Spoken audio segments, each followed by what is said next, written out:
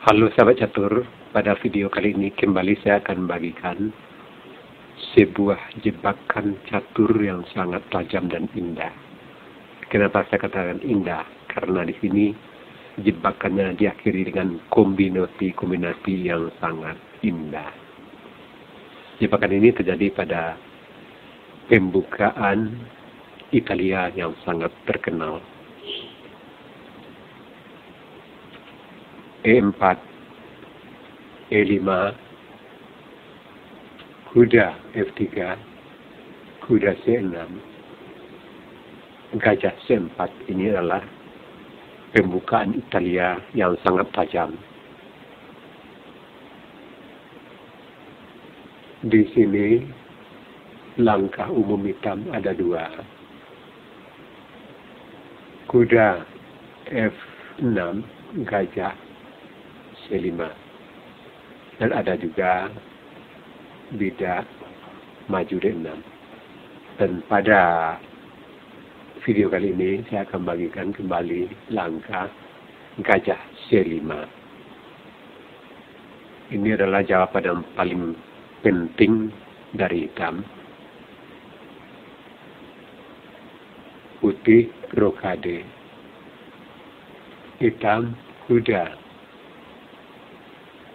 F6 putih bidak maju D4 hitam gajah pukul bidak putih kuda pukul gajah.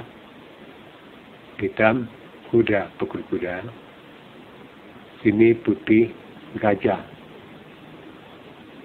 G5 mengikat kuda di F6 hitam tidak maju H6 mengusir gajah. Putih gajah lari ke A4. Hitam bidak maju G5. Melepaskan pengikatan terhadap kuda. Di sini putih bidak maju F4. Nah, sahabat catur, langkah ini sudah banyak saya bagikan pada video-video jebakan Italia yang lalu. Di sini hitam bisa pukul gajah, bisa juga bidak G pukul F4, atau bidak E pukul F4. Nah, pada tapi pada video kali ini yang akan saya bagikan adalah kuda pukul bidak E4 Nah ini juga harus sahabat uh, catur ketahui varian-variannya. Putih F pukul D5 E5 mengancam bidak F7 dengan benteng dan gajah. Di sini hitam kuda E6 menutup ancaman putih dan putih menteri F3 tetap mengancam mat di F7 dan di sini menteri E7 untuk membantu bidak F7 putih menteri pukul kuda. Dan hitam bidak pukul gajah di H4 putih kuda C3. Pada posisi ini ada dua pilihan hitam yang umum. Benteng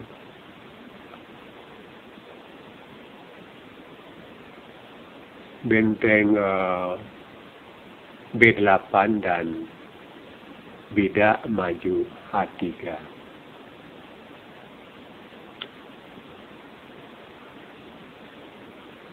Sekarang kalau bidak maju. H3 maka putih G pukul. H3 hitam. Kuda mengancam menteri.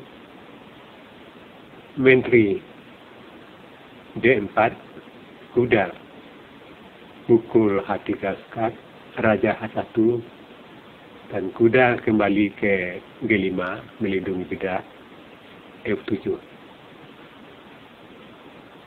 di sini putih kuda D5 mengancam menteri dan bidak C7 sekaligus dan langkah menteri D8 sambil melindungi bidak. Di sini putih bidak maju D6 dan posisi putih sangat unggul sambil mengancam emat dengan pukul benteng di H8. Nah sekarang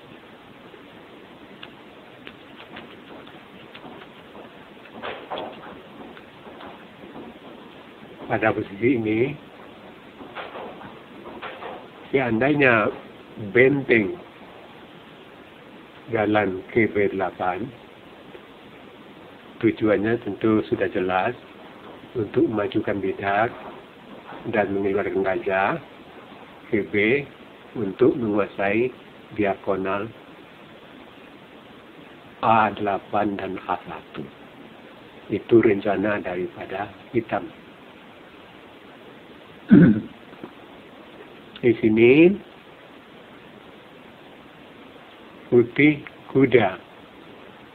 D5 mengancam menteri.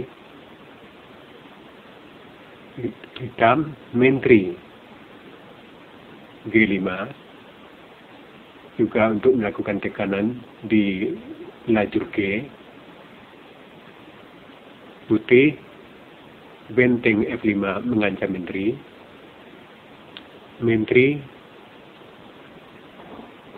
G6 dan di sini putih Menteri pukul bidak mengancam mat di E7. Kalau seandainya Menteri pukul benteng maka akan mat di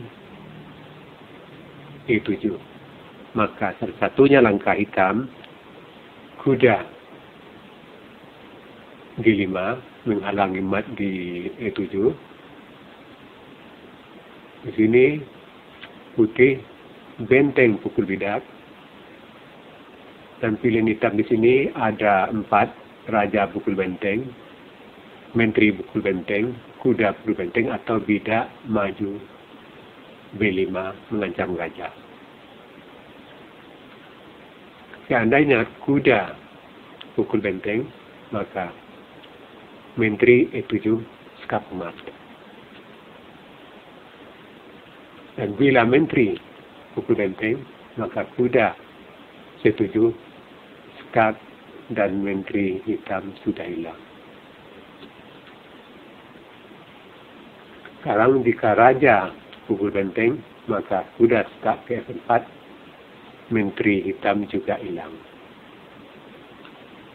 Dan yang terakhir, bila bidak maju D5, oh, B5 mengancam gajah. Maka di sini putih skat dengan kuda ke F6. Satu-satunya dalam raja, raja, raja D8. Di sini menteri ke-4 juga mengancam mat di D7. Dan langkah hitam satu-satunya kuda F3 skak. Bidak pukul kuda. Dan di sini menteri wajib pukul menteri karena melihat ancaman di D7. Putih Bida F pukul G4 dan hitam B pukul gajah di C4. Di sini putih maju D6 ancamannya menyorong bidak ke E7 skat emat. Dan di sini pilihan hitam ada dua.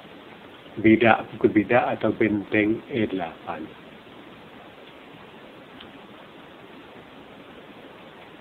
Seandainya bida, pukul bida, maka putih benteng B1 skak, hitam terpaksa tutup pakai gajah, benteng pukul gajah, raja C8, benteng makan setuju skak, raja D8, dan benteng F D8 skak emas.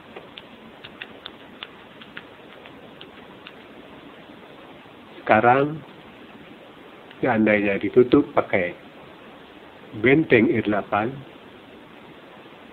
maka di sini terjadi skakmat yang sangat indah.